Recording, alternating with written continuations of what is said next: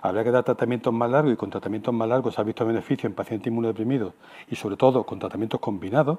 Lo que pasa es que como ha caído tanto la incidencia de enfermedad grave, ya no salen estudios clínicos con facilidad en pacientes inmunodeprimidos, explorando en grandes ensayos clínicos terapias combinadas para este tipo de pacientes. Y, luego las comorbilidades de base. Muchos pacientes estos pues, son trasplantados renales que a lo mejor ya el injerto ya no le funciona y está en una situación terminal en diálisis, o son pacientes que tienen eh, enfermedades hematológicas neoplásicas que están también casi terminales de su enfermedad. claro, o pacientes con cáncer avanzado con inmunoterapia u otros tratamientos en los que mm, también está su enfermedad de base ahí. Es decir, es mucho más que un virus y, es, que esto es una cosa muy compleja y cada persona, eh, la COVID en cada persona es, una cosa diferente. Por eso se siguen muriendo personas todos los días, como dice Juan, a fecha de hoy, en los hospitales.